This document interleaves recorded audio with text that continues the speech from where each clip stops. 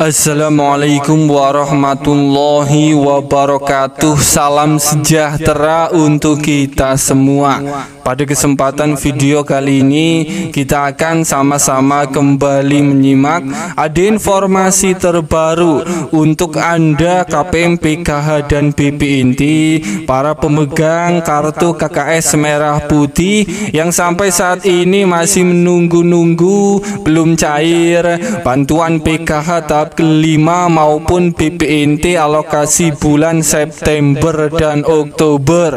Ada kabar terbaru pada hari ini yang begitu indah penuh kegembiraan terkait update pencairan bantuan PKH tahap kelima dan BPNT alokasi bulan September dan Oktober pada hari ini. Proses pencairannya benar-benar sudah banyak para KPM yang baru saja diambil bantuannya dan terpantau pencairannya saat ini masih sedang dilanjut dicairkan oleh Bank Himbara hingga malam hari nanti. Saya ucapkan selamat berbahagia terlebih dahulu bagi Anda KPM PKH dan BPNT yang sudah pada cair bantuannya. Dan bagi para KPM yang belum cair ini harap bisa bersabar.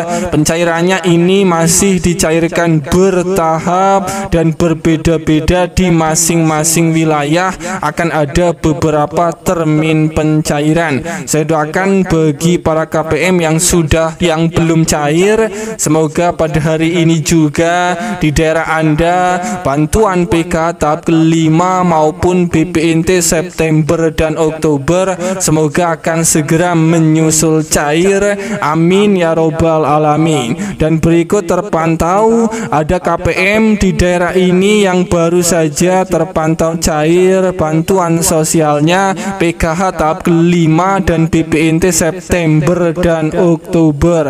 Langsung saja yang pertama terpantau ini untuk di daerah Daerah Sukabumi Jawa Barat Alhamdulillah mulai disalurkan kali ini untuk bantuan BPNT alokasi bulan September dan Oktober.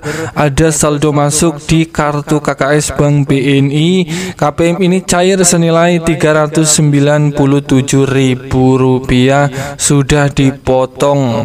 Kemudian selanjutnya wilayah Kalimantan Tengah juga sudah mulai cair.